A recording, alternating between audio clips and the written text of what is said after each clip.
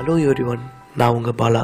இந்த வீடியோவில் நம்ம என்ன தெரிஞ்சுக்க போகிறோன்னா எசோமி பிரசோல் இந்த மருந்தினுடைய பயன்கள் பெனிஃபிட்ஸ் என்னென்ன என்ன மாதிரியான நோய்களுக்கெல்லாம் டாக்டர்ஸ் இதை வந்து பயன்படுத்துகிறாங்க ப்ரெஸ்கிரைப் பண்ணுறாங்க இந்த மருந்து எடுத்ததுக்கப்புறம் என்ன மாதிரியான பக்க விளைவுகள் சைடு எஃபெக்ட்ஸ் எல்லாம் உடம்புல ஏற்படுது இந்த மருந்தை யார் யாரெல்லாம் எடுத்துக்கலாம் யார் யாரெல்லாம் எடுத்துக்கக்கூடாது இந்த மருந்தை எப்போ எடுத்துக்கணும் எந்த அளவுக்கு எடுத்துக்கணும் என்பதை பற்றி தான் இந்த வீடியோவில் நம்ம முழுமையாக தெரிஞ்சுக்க போகிறோம் வாங்க வீடியோக்குள்ளே போகலாம் அதுக்கு முன்னாடி இது வரைக்கும் நம்ம சேனலை நீங்கள் சப்ஸ்கிரைப் பண்ணலன்னா இப்போ சப்ஸ்கிரைப் பண்ணிடுங்க. அப்படியே பக்கத்தில் இருக்கிற பெல் ஐக்கனையும் கிளிக் பண்ணிடுங்க. அப்பதான் என்னுடைய அடுத்தடுத்த வீடியோக்கள் உங்களுக்கு நோட்டிஃபிகேஷனாக வந்து சேரும். ஃபர்ஸ்ட் இந்த மருந்தை என்னென்ன நோய்களுக்கெல்லாம் பயன்படுத்துகிறாங்க டாக்டர்ஸ் என்பதை தெரிஞ்சுப்போம். வயிற்றுப்புண் இறைப்பை புண் ஜோலிங்கர் எலிசன் நோய்க்குறி காஸ்டோ ஈசோபேக்கியல் எதிர்வினை நோய் ஹெலிகோபெக்டர் ஃபைலேரி நோய் தொற்று அசிடிட்டி அமிலத்தன்மை மேல் வயிறு வலி இரைப்பை உண்குழவியல் எதிர்வினை நோய் நீரிழிவு இறப்பை வாதம் அஜீரணம் இரையாக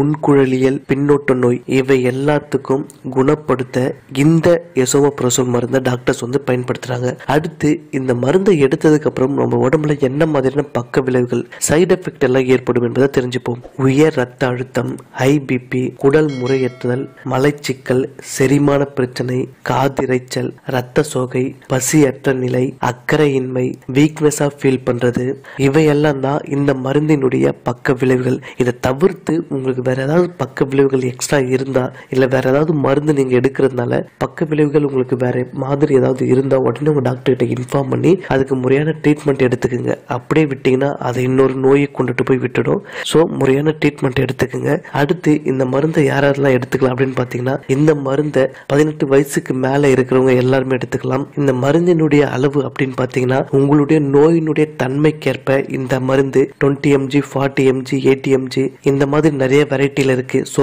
உங்களுடைய நோயினுடைய தன்மைக்கேற்ப உங்க டாக்டர் அட்வைஸ் படி எடுத்துக்கோங்க. ஸோ மினிமம் டோஸ் அப்படின்னு பார்த்தீங்கன்னா டுவெண்ட்டி எம்ஜி தான். அடுத்து இந்த மருந்தை எப்போ சாப்பிடணும் அப்படின்னு பார்த்தீங்கன்னா உணவுக்கு முன்னாடி ஃபுட்டுக்கு முன்னாடி ஒரு ஹாஃப் அன் அவர் பிஃபோராக இதை எடுத்துக்கிட்டிங்கன்னா இதனுடைய ஒர்க் ரொம்ப நல்லா இருக்கும். ஃபுட்டு சீக்கிரமாக ஜீரணமாகறதுக்கும் உடம்புல அதிகமான அமிலம் சுரக்காமல் அதை கண்ட்ரோல் பண்ணதுக்கும் இந்த மருந்து கரெக்டாக பயன்படும். ஸோ இதை தவிர்த்து உங்களுக்கு வேற ஏதாவது சந்தேகம் இருந்தால் கீழே கமெண்ட்டில் டைப் பண்ணுங்கள் நான் ரிப்ளை பண்ணுறேன் இந்த வீடியோவை எல்லாருக்குமே ஷேர் பண்ணுங்கள் எல்லாருமே இந்த மருந்து ஏன் பயன்படுத்துகிறாங்க என்பதை தெரிஞ்சுக்கிட்டும். இந்த மருந்து எடுத்ததுக்கப்புறம் எந்த மாதிரியான பக்க விளைவுகள் எல்லாம் ஏற்படும் என்பதை தெரிஞ்சுக்கிட்டும். நம்ம வேற ஒரு வீடியோவில் சந்திப்போம். நன்றி வணக்கம்.